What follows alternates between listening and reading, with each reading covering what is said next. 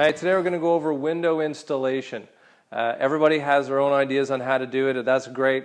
Uh, we're going to show you a couple of tips of things we tried here. Um, however you do it, it should the end result should be the same, which is windows and doors they open properly, they're level.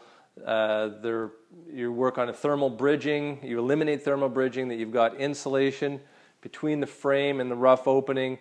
You're sealed against air leakage. Uh, you got drainage laid out, stuff like that. So we'll go over a few of the things that we did to accomplish that.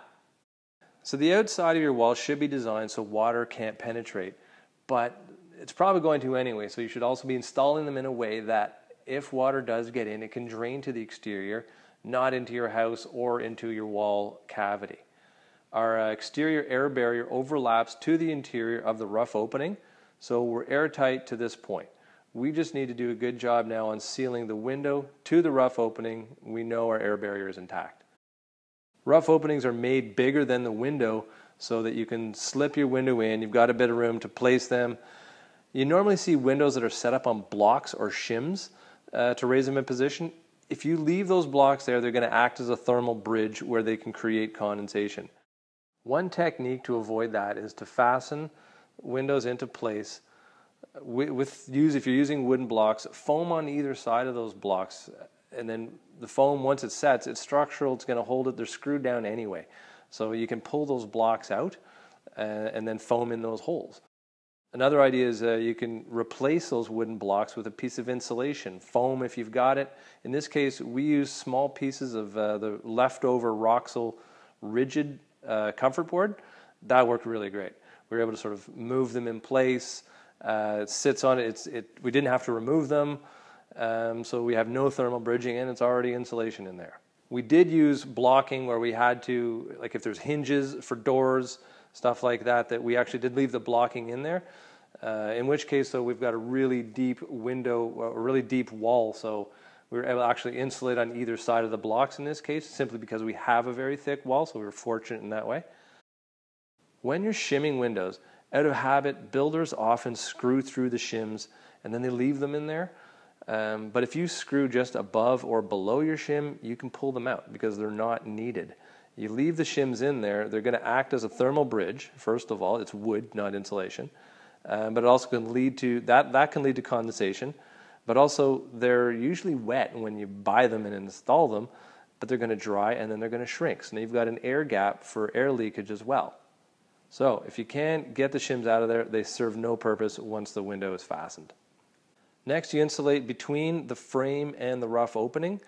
Again, there's more than one way to do this. Uh, if you're using spray foam, be sure you to use a low expanding foam. It won't deform the frames. It'll usually say like window and door on it, low expansion. Fiberglass insulation works fine, but if you compress it, it actually loses its R value. So you got to be a bit more careful with it. Here we're using uh, Roxul. Again, we've got it laying around. We used it in the walls.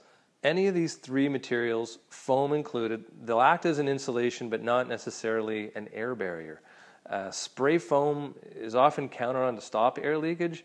It will do that at first, but houses shift, they move. Uh, you can't really avoid that. And anytime you get any shifting with the foam, uh, in our experiences, you're it just doesn't, there's no play to it. So I've seen a lot of cases where there is air leakage, so not my favorite technique. So if you are using foam, still a good idea uh, with any of these techniques to put, to tape it or caulk afterwards to make sure you're airtight. Speaking of which, we tried two different methods of air sealing uh, to see which was faster, more affordable, which one worked better.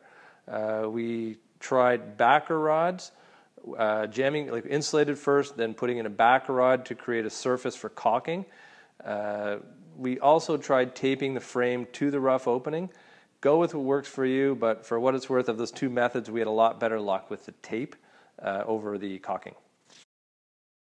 An important part to remember though, after you've put in your insulation, before you go to the effort of sealing it up, make sure the window opens first, uh, that you haven't put too much pressure on it, uh, if you warp the frame at all, you might find that your window binds. So if you set out with these goals of insulating really well between the frames, creating an air seal, and working on moisture penetration, you're going to end up with a window that performs, that lasts longer, and actually uh, performs better.